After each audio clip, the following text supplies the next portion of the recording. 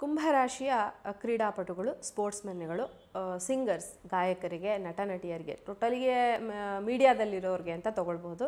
ಅಥವಾ ಸಾಹಿತ್ಯ ರಚನೆ ಮಾಡೋರಿಗೆ, ಕಾವ್ಯ ರಚನೆ ಮಾಡೋರಿಗೆ, ಮತ್ತು ಈ ಯೋಧರಿಗೆ, ಮಿಲ್ಟ್ರಿನಲ್ಲಿರೋರಿಗೆ, ಆರಕ್ಷಕರು, ಅಗ್ನಿಶಾಮಕದವರು, ಸಮಾಜ ಸೇವಕರು ಶಿಕ್ಷಣ ಕ್ಷೇತ್ರಕ್ಕೆ ಸಂಬಂಧಪಟ್ಟವರಿಗೆ, ಮತ್ತು ವಿಮಾನ ಚಾಲಕರಿಗೆ, ಗಗನ ಸಖಿಯರಿಗೆ, ಮತ್ತು ವಿಜ್ಞಾನಿಗಳಿಗೆ, ವೈದ್ಯರಿಗೆ, ನ್ಯಾಯವಾದಿಗಳಿಗೆ ಬಹುಮಾನಗಳು ದೊರೆಯುವಂಥ ಸಮಯ. ಈ ಸಮಯದಲ್ಲಿ ನೀವು ನೀವು ಕುಂಭರಾಶಿಯವರಾಗಿದ್ದರೆ ನಿಮಗೆ ಒಳ್ಳೆಯ ಸಮಯ ಇದು ಅಂತ ಪ್ರಶಸ್ತಿ ಪುರಸ್ಕಾರಗಳು ಲಭಿಸುತ್ತೆ. ಈ ವರ್ಷ ಆಲ್ಮೋಸ್ಟ್ ಒಳ್ಳೆ ಟೈಮ್ ಇದೆ ಅಂತ ಹೇಳ್ಬೋದು. ಪ್ರವಾಸೋದ್ಯಮದಲ್ಲಿರೋರಿಗೆ ಕೂಡ ಇದು ಒಳ್ಳೆ ಸಮಯ.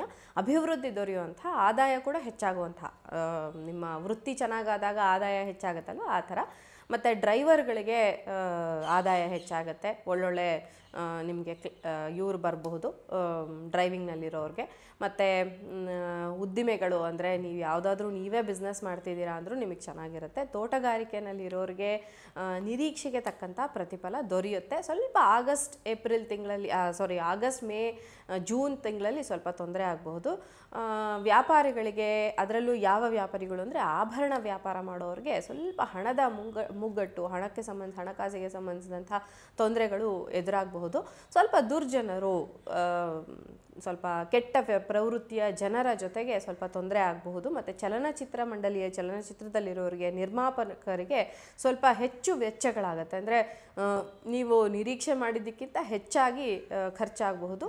ಮತ್ತು ತುಂಬ ಶ್ರಮಪಟ್ಟು ಗೆಲ್ಲುವಂಥ ಅವಕಾಶ ವೈದ್ಯರಿಗೆ ಒಳ್ಳೆ ಸಮಯ ಇದು. ಕೆಲವರಿಗೆ ಪಾಸಿಟಿವ್ ಆಗಿದೆ, ಕೆಲವರಿಗೆ ತೊಂದರೆಗಳಿದೆ. ಸಿಹಿ ತಿನಿಸುಗಳನ್ನು ಮಾಡುವಂಥವ್ರಿಗೆ ಫುಡ್ ಇಂಡಸ್ಟ್ರಿನವ್ರಿಗೆ ಒಳ್ಳೆ ಸಮಯ ಅಂತಲೇ ಹೇಳ್ಬೋದು. ಮತ್ತು ಈ ಕಾಂಟ್ರಾಕ್ಟ್ ಬೇಸಿಸ್ ಮೇಲೆ ಕೆಲಸ ಮಾಡ್ತಾರಲ್ಲ, ಅವ್ರಿಗೆ ಕೂಡ ತೃಪ್ತಿಕರವಾದಂಥ ಅಭಿವೃದ್ಧಿನೇ ಇರುತ್ತೆ. ಅಂದರೆ ಸ್ಯಾಟಿಸ್ಫ್ಯಾಕ್ಷನ್ ಇರುತ್ತೆ. ಮತ್ತು ರಾಜಕೀಯದಲ್ಲಿ ಮಾತ್ರ ಸ್ವಲ್ಪ ಹುಷಾರಾಗಿರಬೇಕು, ಅಪಕೀರ್ತಿ ಉಂಟಾಗೋದು ಅದು ಏಪ್ರಿಲ್ ನಂತರ. ಸ್ವಲ್ಪ ಹೆಸರಿಗೆ ಕಳಂಕ ಬರುವಂಥದ್ದು.